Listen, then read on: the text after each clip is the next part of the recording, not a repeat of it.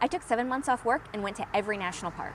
And here's how the 16 parks in the eastern US rank from worst to best. Dead last is Hot Springs in Arkansas. Number 15, the Gateway Arch in Missouri. 14, Voyageurs in northern Minnesota.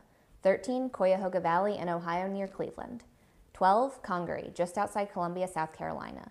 11, Isle Royale, a rock in Lake Michigan.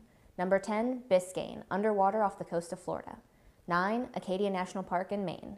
8, Indiana Dunes on Lake Michigan in, obviously, Indiana. 7. Shenandoah in the state of Virginia.